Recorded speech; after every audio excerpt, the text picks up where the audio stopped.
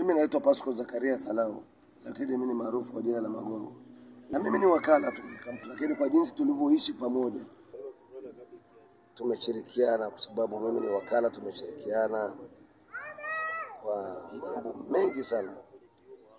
Kwa hiyo ni, ni, ni, ni, ni, ni tajiri yetu.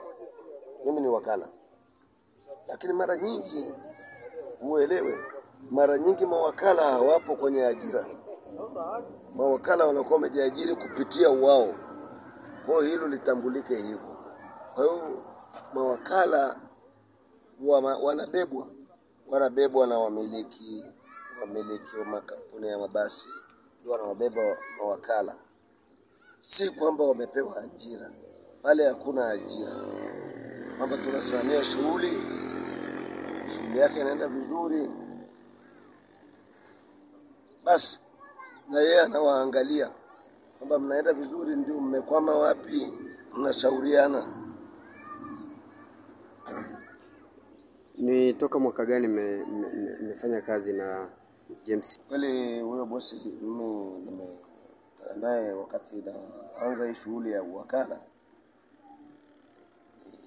kuanzia mwaka themanini na sita themanini na saba themanini na sita themanini na saba Toka ume, umefanya naye kazi, pengine unamfahamu vipi sasa utendaji wake wa kazi e, baina yenu nyewe mawakala na yeye bosi ambaye pia ndo mkurugenzi mmiliki wa, wa, wa kampuni ya Jambo Express pamoja na familia nzima ya Mtei?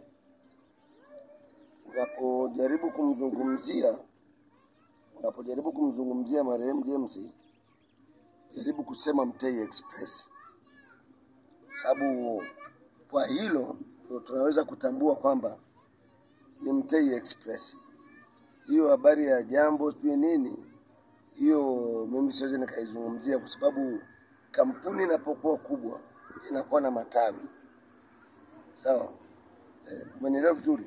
Eh, una mke utakuwa na watoto eh, na watoto pia watakuwa na shughuli zao, watakuwa na maduka yao, watakuwa wanasaidia jamii kwa kupitia tu ule ule mradi wa muhusika. Maana uwezi, sidhani kama kuna mtu anaweza akawa na kitu bila kupitia kupitia hivyo, lakini mimi tu kwa mtazamo wangu nimemchukulia tu kwamba ni mfanyabiashara mkoa wa Manyara na ameishi na jamii vizuri, na nafikiri ni wengi watakuwa wameumia, sio mimi peke yangu, sababu kuna nafikiri kuna mambo madogo madogo utakuwa umekosa, kwa sababu unajua uwezi ukawa una una unasaidia mtu ukatangaze, ngumu, lakini pia walijaribu kuimbipu zaidi, kujaribu kuigusa jamii zaidi, kama Mtei Express. Waliweza kutoa sauti, labda tu niseme, labda sijui nizungumzie vipi, kwamba walemavu wote watasafiri bure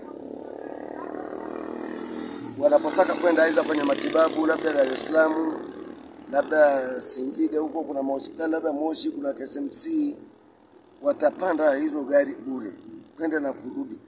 Hiyo imegusa jamii jumla imegusa moja kwa moja. Sasa ile ni kitu ambacho ukiangalia sana ni kwamba ni, ni, ni, ni mtu ambaye ni muhimu, japokuwa sasa kwa Mungu sasa amekuwa ni muhimu zaidi, naelewa, lakini ni muhimu sana.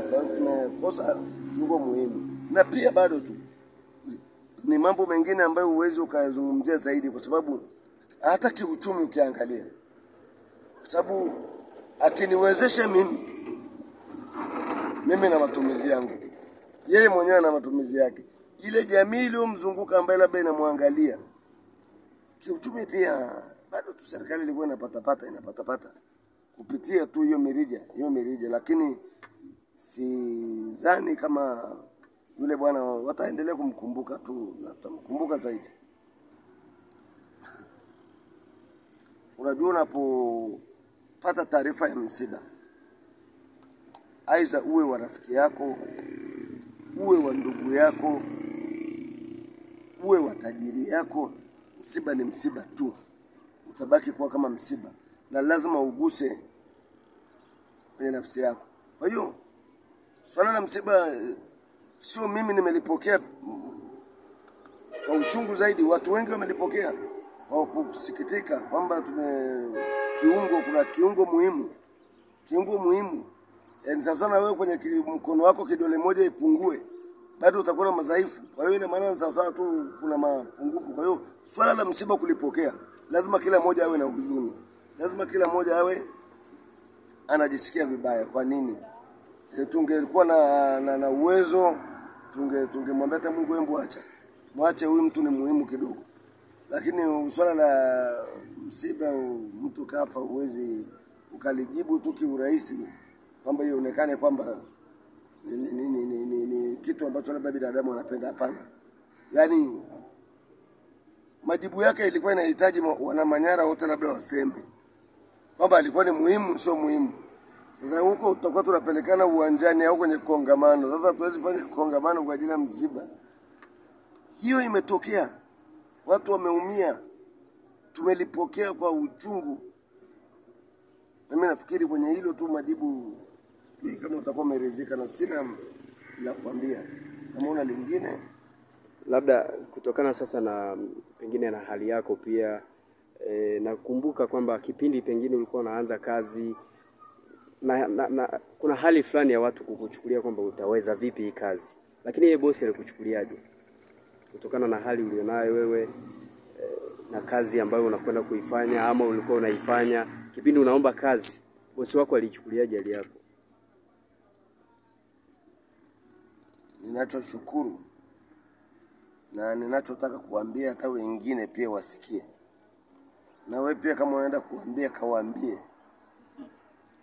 Kampuni kama kampuni haijawahi angalia tabaka, haijaangalia huyu mtu ana hali gani, haijaangalia huyu ni mwanamke, haijaangalia huyu ni mzee. Wao walichokuwa wanaangalia ni utendaji, kwamba mtu kama anaweza kufanya kazi ili aweze kupata riziki, basi tutakuwa naye pamoja kwa ulikuwa unafanya kazi kwa, kwa, kwa kueleweshwa kwa kueleweshwa tu.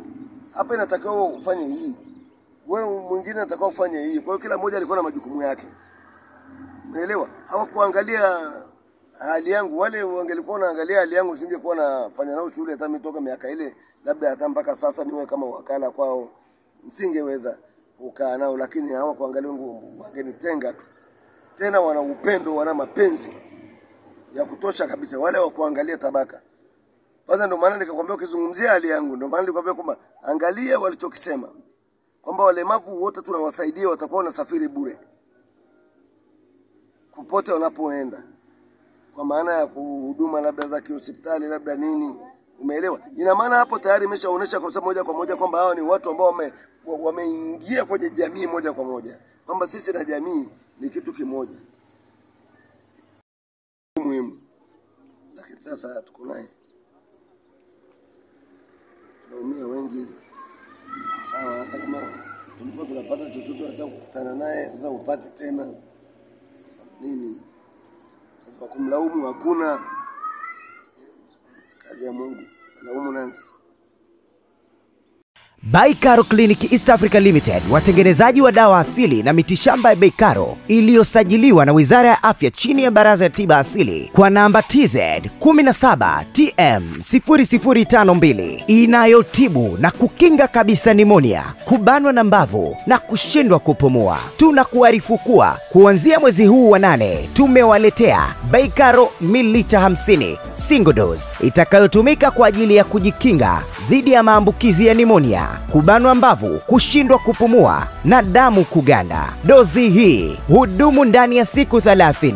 Baikaro inapatikana Tanzania nzima. Dar es Salaam fika maeneo ya uwanja wa ndege kwa Mr. Godwin Kimambo, Mbezi Bichi kwa Angel Moshi, Afrika Sana kwa Nimfa Senguo, Dar City Center kwa Disanako Enterprises. Opposite na City Mall, Mwanza Etenejo Pharmacy CCM mkoa, Dodoma kwa Lilian Temba, Moshi Kilimani Pharmacy, Leopard Hotel kwa Mr. Leonard Moshi. Arusha fika Kilimani Pharmacy, Amaris Pharmacy makao makuu mapya Arusha, Bluestone Lodge and Lounge, Mr. G Collection opposite na Stanbic Bank, kwa Obama EAC na Advocate Modest Akida Advocates. Kahama fika The Bab Pharmacy, Phantom Street. Morogoro fika Msafiri Chemistry. Mbeya fika kwa Msafiri Pharmacy na Kigoma fika kwa Mr. Mwakalobo au tupigie Baikaro masaa 24 kupitia 0742 777 775 na 0710